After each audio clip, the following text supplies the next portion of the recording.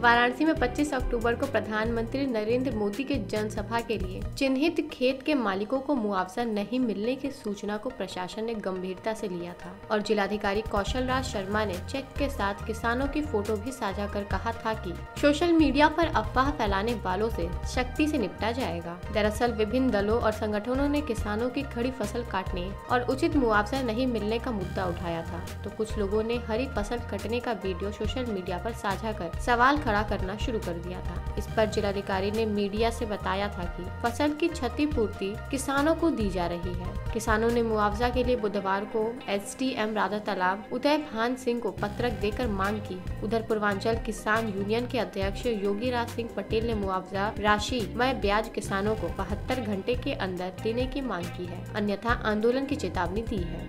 देखिए, आप जानते हैं कि वाराणसी में मोदी जी आए थे 25 अक्टूबर को।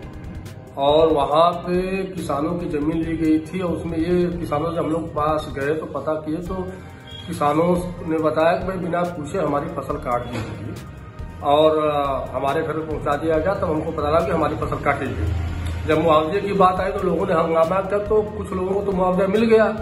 लेकिन मोदी जी एयरपोर्ट से रास्ते मतलब बाई रोड आने वाले थे कार्यक्रम स्थल पे लेकिन एकाएक दो तीन दिन पहले उनका कार्यक्रम रोड वाला खत्म हो गया।